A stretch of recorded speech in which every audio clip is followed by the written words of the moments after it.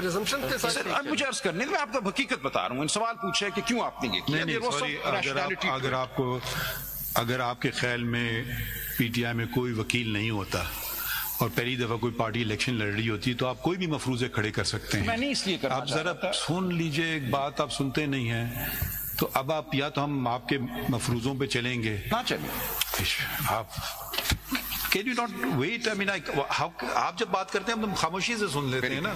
तो फिर अब आप सुन लीजिए ना दूसरे की बात किया तो आपको समझ तो आए।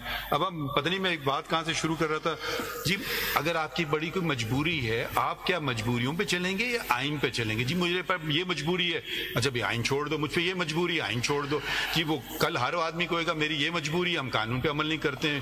हम ये मजबूरी है मैं रेड लाइट पे नहीं रुकूँगा मेरी ये मजबूरी है मैंने डाका डाल लिया ये I पे तो मुल्क नहीं चलेंगे No, ना may I respond, Murad? आप आइन पे चलाइए Yes, not senior councils deliberated on this and they they decided. gave you wrong advice Okay, maybe. But No, that's maybe what your then you can lordship- sue them. No, no, no, that's what your lordship. Then sue them. So मुझे argue करने दें. नहीं, I- And it was decided that there was no harm in joining SIC. Now this was a decision taken and I will submit that this was not necessarily an incorrect decision or one that somehow causes detriment to us as regards the personal reserved seats. आपने personally ये decision आपने accept नहीं किया That's why- that's why you have challenged it. Learned Council, That's why you have let's, challenged it. let's start with the propositions first. Please, आप मुझे अपनी propositions propositions बता दें. जी मेरी proposition